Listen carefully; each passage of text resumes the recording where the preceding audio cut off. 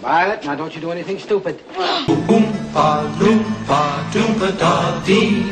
If you are wise, you'll listen to me.